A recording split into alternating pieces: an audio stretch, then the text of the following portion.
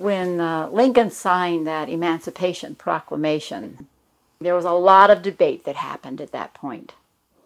Some of the previous slave owners saw that maybe this could still be a labor force. Maybe they'll still work for us.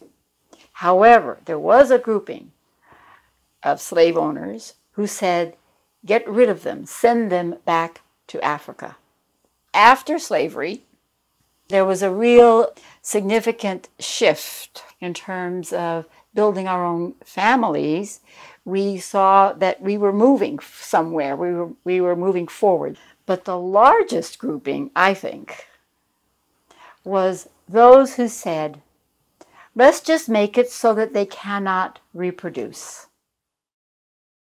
As we talk about the role uh, of some of these historical organizations uh, who were really put together for the purpose of the sterilization uh, and stopping reproduction of African American peoples in this nation, the reality is that we have to put it in historical context. They set out to sterilize us. There's something that's called eugenics, and it involved people determining that we were feeble minded people and so they need to sterilize us so that we won't carry on these, these bad genes and infect the gene pool. And these people who were supporters of the eugenics movement were also the same ones who, in that day and age, were opposed to public education and were opposed to the creation of public hospitals. And um, that was a hard period in our lives because many of the women didn't know why they couldn't have children. And they couldn't have them because the state deemed them a risk because they put mental, mental health tags on them, a risk because they wanted to control the birth rate in our community. And people think this is far fetched. The discrimination grew with the eugenics.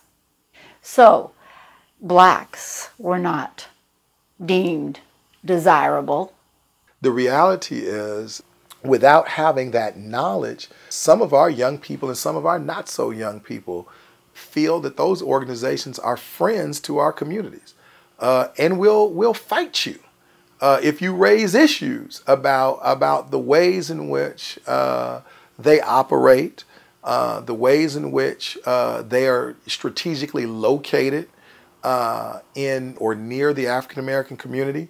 Back in the day, teenage pregnancy was not celebrated.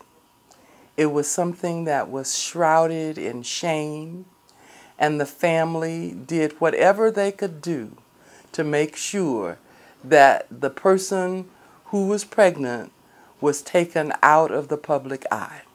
When a teen daughter got pregnant in the 1950s or so, oftentimes, all of a sudden, they would disappear from school. They would no longer be around.